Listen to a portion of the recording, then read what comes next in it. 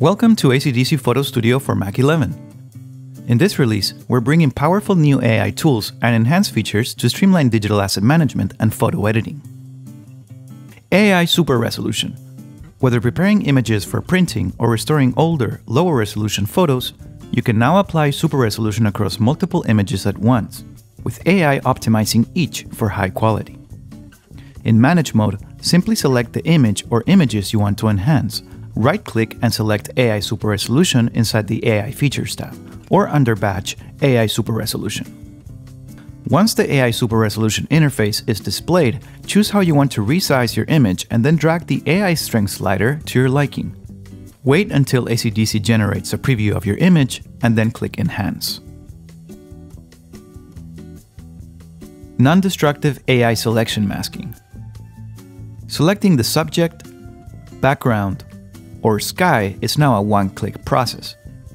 Once you've made your selection, refine the look using the adjustment filters. New filters like vibrance, temperature, tint, color strength, and hue have been added, along with a full suite of tools to bring your photo closer to the vision you have in mind. AI Object Masking Easily outline an object and let AI handle complex edges for accurate selections in seconds you can easily add more to your selection or subtract from it. Fine-tune selections by feathering edges or shifting them for smoother, more cohesive results.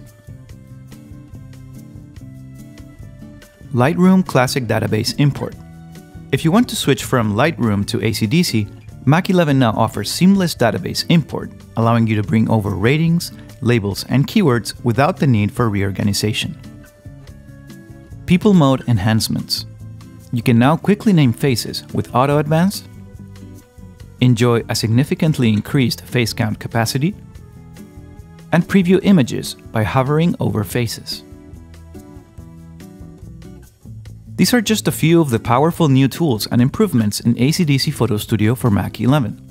For the full list of new features, Check out the link in the description below, and please like and subscribe for more ACDSee content.